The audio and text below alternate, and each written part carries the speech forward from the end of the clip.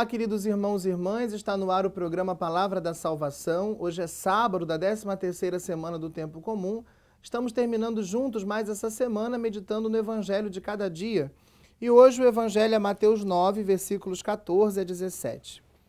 Naquele tempo, os discípulos de João aproximaram-se de Jesus e perguntaram: Por que razão nós, os fariseus, praticamos jejuns, mas os teus discípulos não?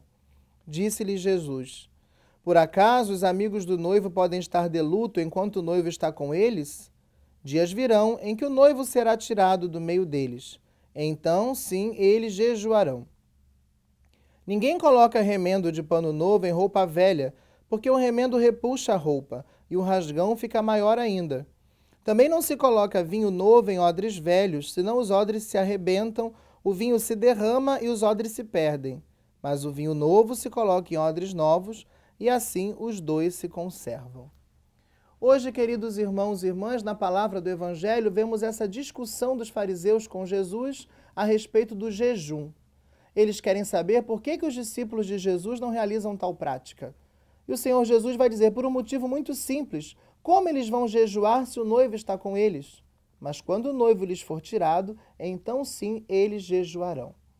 Também nós, no círculo do ano litúrgico, praticamos isso.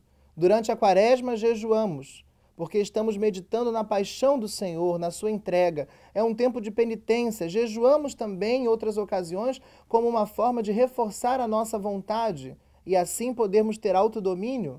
Mas durante o tempo pascal, que é um momento de grande celebração da igreja, que constitui o centro e o núcleo do ano litúrgico, onde nós celebramos o mistério da ressurreição do Senhor, também nós não jejuamos. E Jesus vai explicar aos discípulos, aos fariseus, por que os seus discípulos não jejuam, justamente dizendo isso. Eu, que sou noivo, estou no meio deles. Esse é o momento da alegria, de ouvir a palavra e de celebrar. Mas quando o noivo lhes for tirado, então sim, eles jejuarão. E Jesus aproveita para dar um ensinamento aos fariseus e a cada um de nós que ouvimos essa palavra.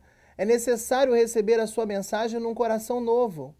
Mesmo as práticas antigas, como o jejum, precisam ser revistas e precisam ser vividas à luz da nova economia da salvação. Assim, o Senhor Jesus vai usar a imagem do pano novo, que não pode remendar uma roupa velha, e do vinho novo, que não pode ser colocado em odres velhos.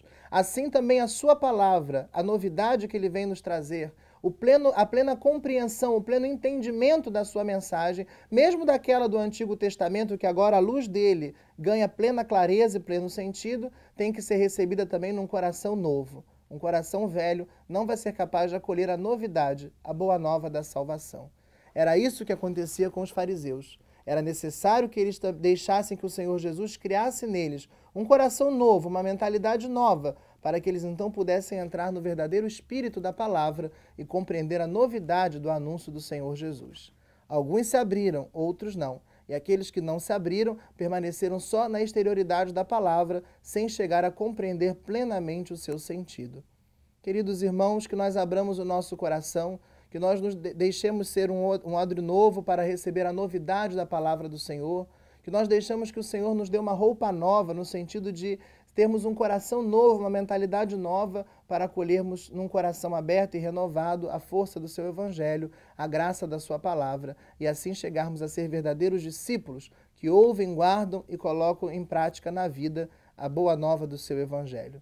Receba hoje a bênção do Senhor e que possamos amanhã, juntos em nossas igrejas, celebrarmos o domingo, dia do Senhor, acolhendo a Sua palavra e comungando da mesa do corpo e do sangue do Senhor.